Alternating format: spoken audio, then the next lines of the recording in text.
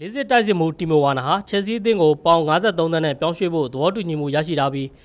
ချက်စီအသင်းမှာတပတ်လောက်ကပေါင်3,800ရရှိမယ်လို့စပေါ်မေးသတင်းစာကဖော်ပြပါတယ်။ချက်စီအသင်းဟာပြီးခဲ့တဲ့ရာသီကရီယယ်မက်ဒရစ်ကိုပြောင်းရွှေ့ခဲ့တဲ့ဟာဇက်ရဲ့နေရာမှာအစားထိုးဖို့တီမိုဝါနာကိုခေါ်ယူခဲ့တာဖြစ်ပါတယ်။ဒီရာသီမှာ25ဂိုးသွင်းယူထားတဲ့တီမိုဝါနာဟာ2016ခုနှစ်ကစတူဂတ်အသင်းကနေပြောင်းရွှေ့ခဲ့သူဖြစ်ပြီးလေးစစ်အသင်းမှာခြေစွမ်းပြနေသူဖြစ်ပါတယ်။အသက်24နှစ်အရွယ်ရှိတီမိုဝါနာဟာ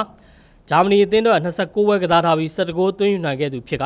ချက်စီအသင်းတော်လည်းလာမယ့်ရာသီမှာဒုတိယမြောက်ခေါ်ယူမဲ့ကစားသမားဖြစ်လာပွဲရှိပါတယ်။ချက်စီအသင်းဟာအေဂျက်တောင်ပန်ကစားသမားဟာကင်ဇီယက်ကိုပေါင်38သန်းနဲ့ခေါ်ခဲ့ပြီးနောက်တိုက်စစ်ကိုအင်အားဖြည့်တင်းမှုတီမိုဝါနာကိုပြစ်မှတ်ထားခဲ့တာဖြစ်ပါတယ်။ချက်စီအသင်းဟာပြီးခဲ့တဲ့လကလည်းပြင်သစ်တိုက်စစ်မှုဂီယော့ကိုတစ်နှစ်စာချုပ်သစ်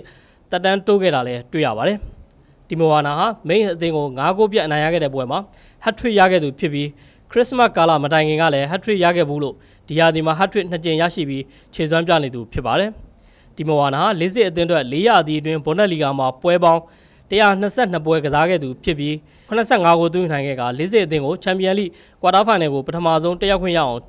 စွမ်းဆောင်ပေးနိုင်ခဲ့သူဖြစ်ပါတယ်။ချက်စင်းသင်းဟာပြီးခဲ့တဲ့ဇန်နဝါရီလက PSG တိုက်စစ်မှုကာဗာနီကိုခေါ်ယူဖို့ပြစ်မှတ်ထားခဲ့ပြီးနာပိုလီသင်းရဲ့ဒါရစ်မာတင်ကိုလည်းခေါ်ယူဖို့ရွေခဲ့မှုပါတယ်။